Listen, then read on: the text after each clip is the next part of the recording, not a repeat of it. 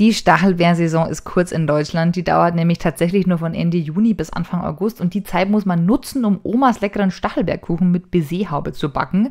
Dafür brauchen wir zuallererst mal drei Eier. Die Eigelb trennen wir von den Eiweiß. Die Eiweiß stellen wir in den Kühlschrank und mit den Eigelb machen wir unseren Boden. Dafür brauchen wir außerdem noch ein bisschen Zucker und natürlich Salz. Es darf ja immer bei den süßen Sachen nicht fehlen fürs Aroma.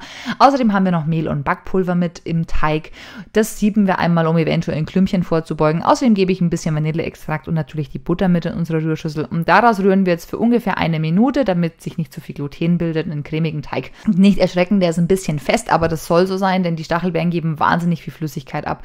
Unsere Form bereiten wir vor, indem wir sie mit Butter ausstreichen und die Ränder mit Backpapier auslegen, denn unsere Baiserhaube, die klebt notorisch gerne an den Rändern der Form und ja, sieht dann einfach nicht so schön aus. In dem Ganzen beugt das Backpapier ein bisschen vor.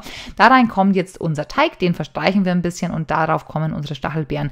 Die habe ich schon gewaschen und eventuelle Blättchen und Ästchen aussortiert. Und dafür geht es für 40 Minuten in den vorgeheizten Backofen. Fünf Minuten vor Ende dieser Backzeit, also nach 35 Minuten, geben wir die Eiweiß in die Rührschüssel. Ganz wichtig, die muss sehr sauber sein zum Eischnee aufschlagen. Mit ein bisschen Salz. Und wenn es dann anfängt, so schön weiß, cremig zu werden, dann kommt unser Zucker mit dazu.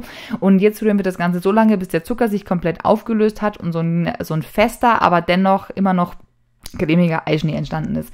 Nach und den 40 Minuten holen wir den Kuchen dann ganz kurz aus dem Ofen. Da musst du wirklich schnell arbeiten, dass der nicht zu viel Temperatur verliert und geben da den Eischnee drauf.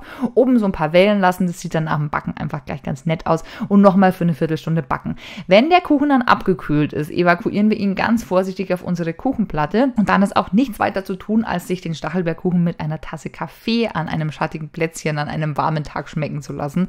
Ich liebe einfach diese Kombination aus den sauren Stachelbeeren Erdbeeren, dem süßen Teig und dem fluffig süßen Eischnee. Das ist für mich der absolut perfekte Sommerkuchen und die, ich hoffe für dich auch und ich wünsche dir jetzt ganz viel Spaß beim Ausprobieren.